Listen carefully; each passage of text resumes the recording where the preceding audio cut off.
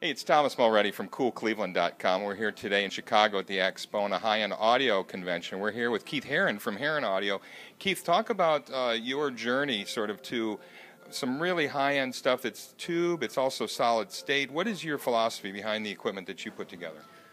My philosophy is live sound, and, and I talk about timing, getting events in time with, with the sound so it sounds real. That's it's more than just frequency response, it's getting everything just right so you hear events in time as they happen.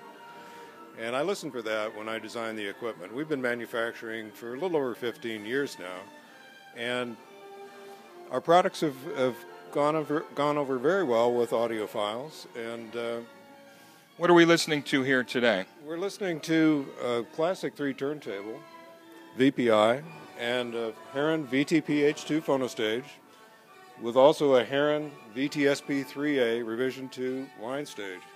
It's vacuum tube, oh, so is the phonostage, and a pair of M1A power amplifiers. They're 150 watts, 8 ohms, 275 watts at 4 ohms. Um, Talk about these speakers that you have here, because I understand you designed your own speakers. Because yeah, why you weren't happy with what was available? Well, I wouldn't say that, but uh, these are prototypes of something we'll be producing down the road. So.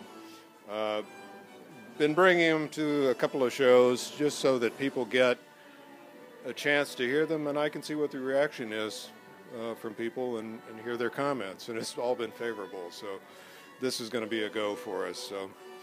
Got a lot of good comments from your room here. Keith, thanks for taking a moment to talk Thank with us. Thank you very much. I appreciate your coming by. Hey, it's Thomas Mulready from CoolCleveland.com. Have a great week in Cool Cleveland.